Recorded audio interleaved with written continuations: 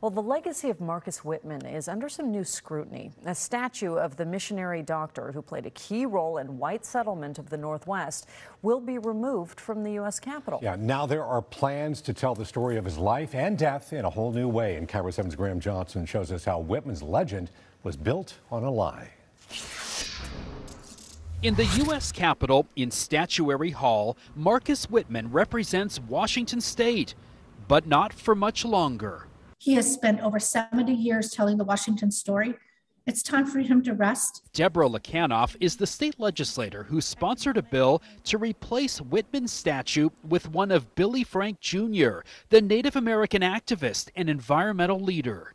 When Billy fought for the salmon, he fought for everybody in Washington state. The bipartisan bill passed overwhelmingly last spring at a time Whitman's legacy is being reassessed. We have been memorializing a myth rather than the actual story. Bobby Connor directs the Tamástslikt Cultural Institute on the Umatilla Reservation, which includes the Cayuse tribe. We met at the Whitman Mission Historic Site in Walla Walla, where in 1847 the Cayuse murdered Marcus Whitman, his wife Narcissa, and 11 other white men.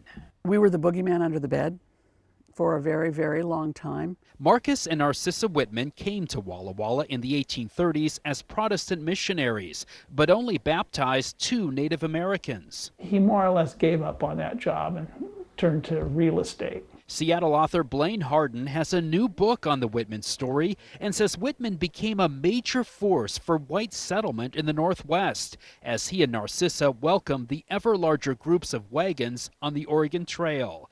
The Cayuse, who initially welcomed Whitman, increasingly saw an invasion of their homeland by white people bringing diseases. We did not have immunity to the high fever diseases that were coming our way.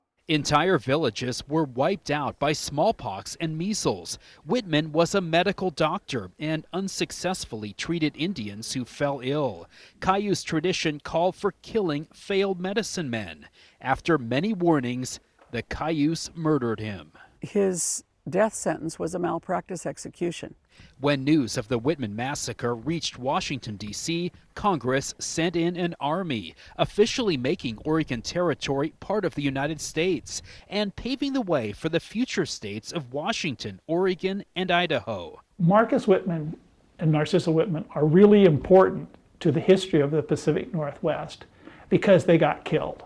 Five Cayuse were hanged for the murders. Then, in the decades after Whitman's death, a big lie took root. Rival missionary Henry Spalding recast Whitman as a patriotic martyr, claiming Whitman saved Oregon. Spalding turned them into national heroes by making up a lie about what Marcus Whitman had done. The legend goes that in 1843, Whitman rode his horse east in winter to warn President John Tyler of a British and Catholic plot to take over Oregon. There was no British plot. Around 1900, scholars debunked the Whitman myth. They proved his true purpose back east was to visit missionary headquarters in Boston, where he persuaded leaders from shutting him down because of infighting. He didn't go to save Oregon, he went to save his skin and his job. But in Washington state, the myth persisted. A former Whitman College president spent 40 years using it as a fundraising tool. The lie about Whitman saving the Pacific Northwest saved Whitman College from going broke. In the 1950s, the state legislature sent the Whitman statue to Washington, D.C. Washington school kids were taught the myth about Whitman saving Oregon well into the 20th century maybe that story isn't quite what we were told when we were in fourth grade. So now, the National Park Service is working on more accurate interpretive signs at the Whitman Mission site with the help of tribal leaders. That story has become a stain or a blemish on our people's history for a very long time. Their reputation as murderers of a national hero cost the Cayuse nearly all of their homeland. We were penalized in the Treaty Council for having killed the Christians. It took casino gambling 150 years later for the Cayuse to prosper on the Umatilla Reservation. Just this summer, President Biden nominated Umatilla leader Chuck Sams to become the first Native American to lead the National Park Service, which runs the Whitman site. Whitman College now partners with Umatilla leaders, and in a couple of years, the statue in D.C. and another one in Olympia will move somewhere around Walla Walla.